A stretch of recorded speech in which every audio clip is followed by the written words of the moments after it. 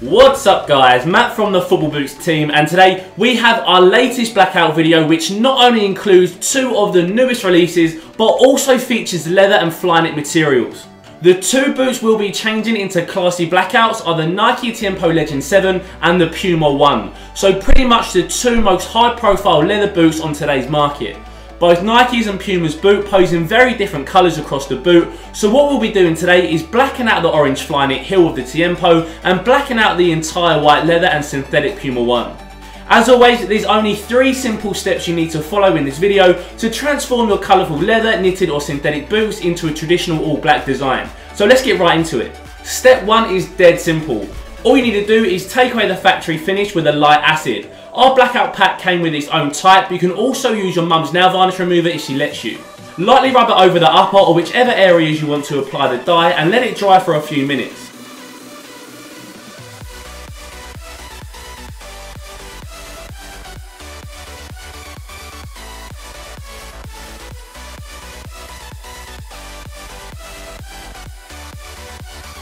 Starting our blacking out process on the Nike Tiempo Legend 7, we're now using the step 2 black dye.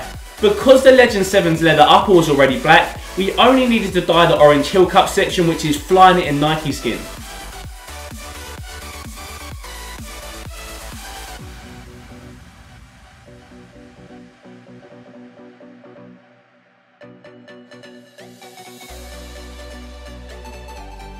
For a cool look, we dyed around the Nike swooshes first to make it seem a bit like a stealth pack colourway, and then we did the Tiempo heel tap.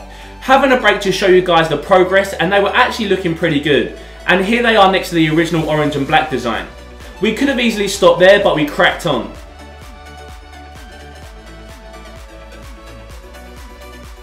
So all we had to do on the heel cup now was fill in the white swooshes to make them match in solid black.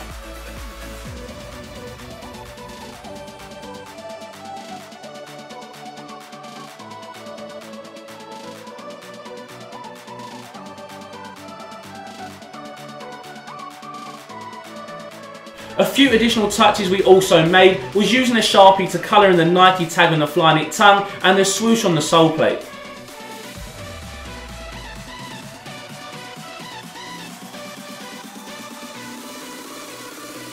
The actual reason we blacked out our Tiempo Legend 7 was to create a test for you guys where we tested your boot knowledge by having you guess what they are. You can check that out on our channel too. So here's how the final look was against the original version. We blacked these out for Tommy in the Football Boots team and he wanted the tongue region to stay orange but you can dye that black with fabric medium.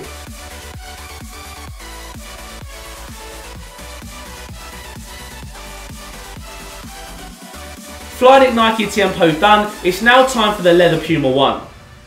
Using the same step 2 dye again, the first section of the Puma boot to go black was the leather toe box and due to the natural material it instantly absorbed meaning a fully coated finish would happen.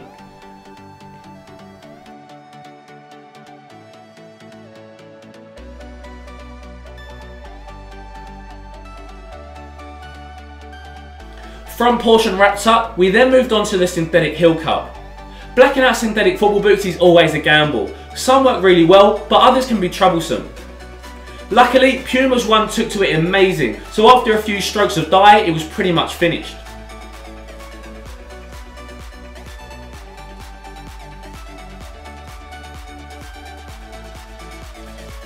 Using a Sharpie again, we then coloured in the one logo on the tongue region. The reason for blacking out this Puma boot was to also produce a blackout test for you guys.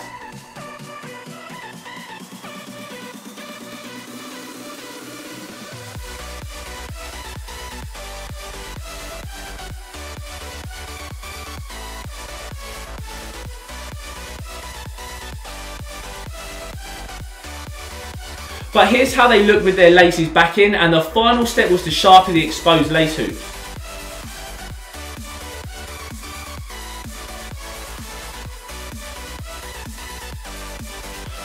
Final application of the step 3 finish and the boots are now ready to be worn.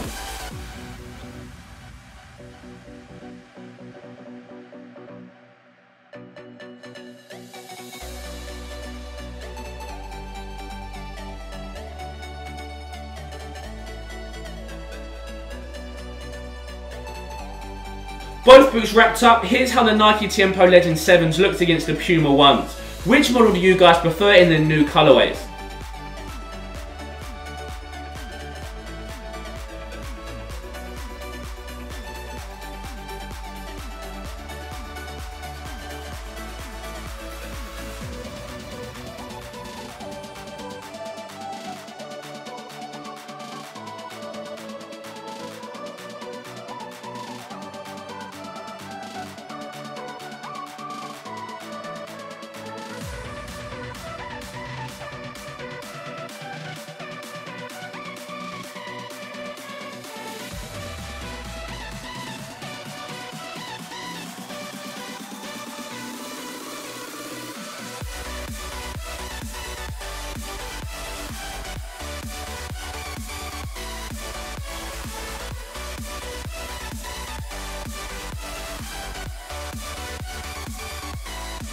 So there it is guys, how to black out Flyknit and leather football boots. Definitely give this a go yourselves. Hope you enjoyed our video. Thanks for watching. Cheers.